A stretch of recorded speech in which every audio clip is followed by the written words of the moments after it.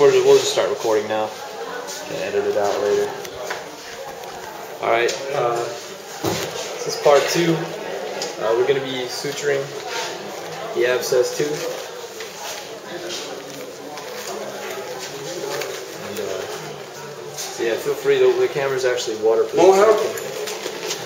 Oh, sure, sure. Well, we can just. He'll do this In a minute. and then we'll watch it.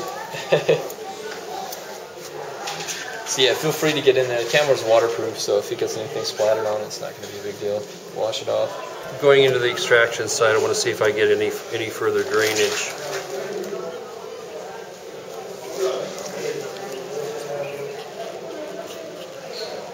If it gets in the way.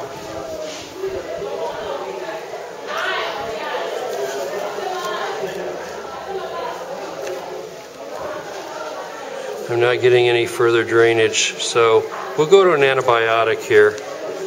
What I'm not pleased with, though, is I'm, I'm, I'm very happy with how the bone is fitting together, but it's almost as if we've laid a, a, a slight flap right here, and I'd feel better if we bring that up and a little tighter to the tooth. We'll get a better healing. Plus, then I don't have to be concerned at all that I'll lose this uh, this portion of bone here that's separated from the from the cortical plate. So we're going to suture right across here, not leaving uh, not leaving our knot, of of course, across the uh, extraction site.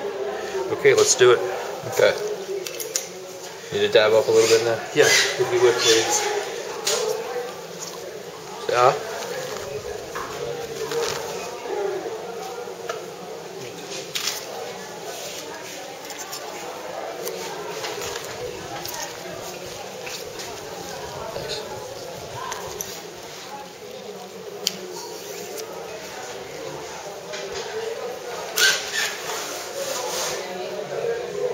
I'm going to use a 3.0 polyester primarily because it's what I have. Going to get as much light as we can in here. You want to grab a flashlight for me? It's right here, Jay. Sure. Just keep it with the left hand. Okay, and let's have her open a little bit wider. Going to come right through here.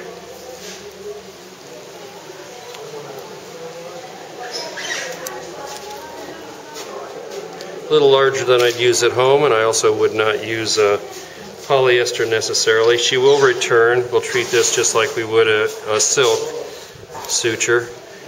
Gut's harder to work with, but the nice thing about gut is patient doesn't need to return. It, it's resorbable.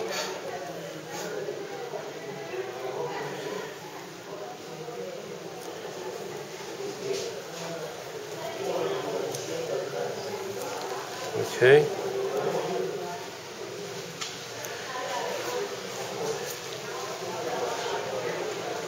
All right, we'll leave that as short as possible. As Audrey found out the other day when she did her first sutures, you leave it really long, you got a lot to pull through. Excuse me.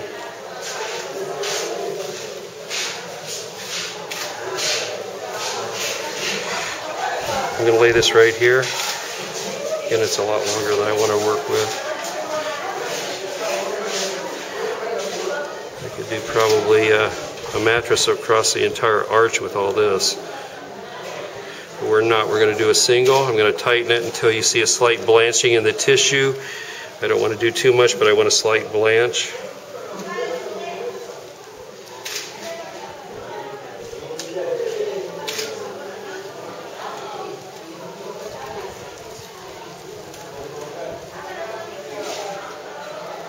I'm going to leave my knot to the buccal for no other reason than I can see it better here. Okay. If I did this in my office, I would absolutely have the patient have a have a debridement of the calculus that's across all of her lower teeth. You see that we call it a bridge of calculus. It's calcified uh, plaque material.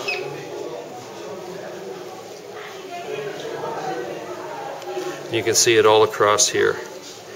That's uh, full of bacteria. My area here where I'm suturing, you see how the how we've got nice, nice uh, attachment here. This will reattach right in this area. The surgical site will close up. This will close around the back tooth. This bone will reform and reattach also. We should have an excellent result with this. Uh, the only thing I would like to do is I would like to get a little bit of this calculus off right here and here and not get it down into my extraction site.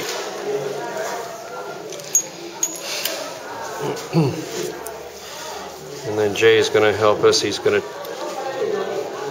going to cut us loose here. Cut the threads. Just gonna do the one. That's exactly what you're going to do.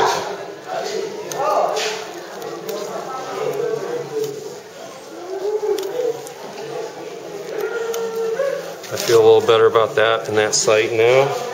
Okay. Okay, I'm going to pull this up. And where do you think we want to cut this? As close to the base as possible, or You want to give me a little room, right about, the, a little closer. There, right about there. Why would you do that? uh, so it doesn't come loose, and also so it doesn't get she doesn't chew there. on it and get it. Yeah. Also, you can if you cut too close, you won't know if it, if it starts to unravel on you. You need to leave a little bit of room so you can check the tension, make sure nothing moves, which it doesn't. Look at how nice and tight this is.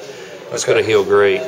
Okay, great. Now we've had problems with some anesthesia on the other side. I'm not quite sure why, but my thinking is that we probably have an abscess that she hasn't noticed, and probably some necrotic bone where those two root tips. Well, they're not true. They're almost two entire roots are still there. Crown of the tooth is missing.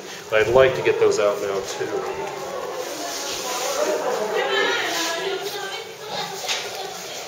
So let's see if we can do that.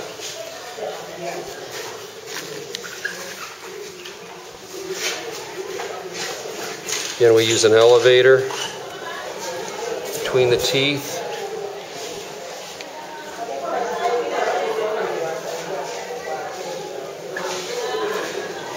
Okay, you got a good view of that. Bring it a little forward, Jay, so we, right, so you can see over the top. There you go, perfect. We had to get rid of our last cameraman. He just wasn't doing a good enough job. All You see how this is lifting out?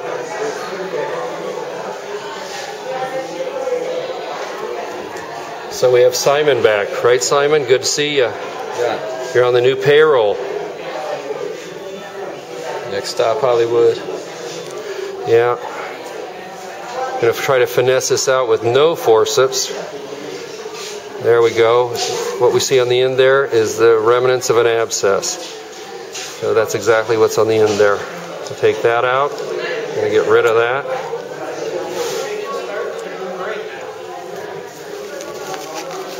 We're going to go for the back one. We're going to turn the uh, elevator the opposite direction, the rounded concave side against our good tooth, the other one with the sharper edges against the, root we want to remove. We're going to do the same thing again in the opposite direction. Get a little spacing, try to lift it. This should be easier because we're pushing into a space we've already created. And there's our other root. Bring that forward. And let's look at the tissues. Look in here. We look in here,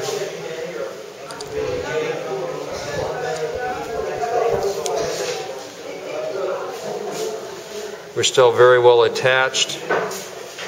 You got a kind of a crepitus sound down in here when I'm touching. That leads me to believe my crest is fine, but further down I feel a little hollow space. And I have a little slight cracking sound. That's an abscess that's been in place for a long, long time, and we've lost a lot of bone down here. I'm guessing probably, possibly years. And uh, we're going to hope that now that those roots are out of there, that this will begin to reform bone. This is this area of bone loss is clear down here, well down into the vestibule. I can feel it with my finger. Up here, I have a nice crestal bone still present.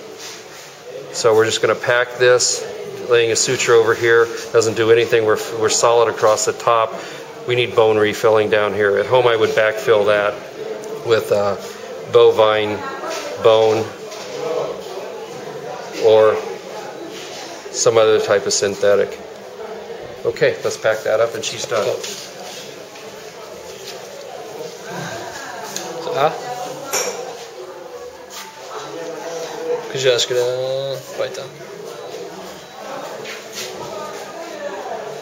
How are we looking? Very nice. And Jay, let's pack the other side. We've already got a clot forming. This looks very nice. Great. Okay, instructions. She's going to return and see us before we leave. Uh, we're going to shoot for two days since we won't be here that long. Usually I'll give it a little longer than that, but uh, we don't have that. Uh, we don't have that luxury right now. The limited amount of time we will be here. Okay, and she can Alright. close. We'll give her her meds. She did very, very well. Thank you very much. One day I'll Good become job. a dentist. Do it. Although I'm old. All right. Should be good to go. Thank you, Simon.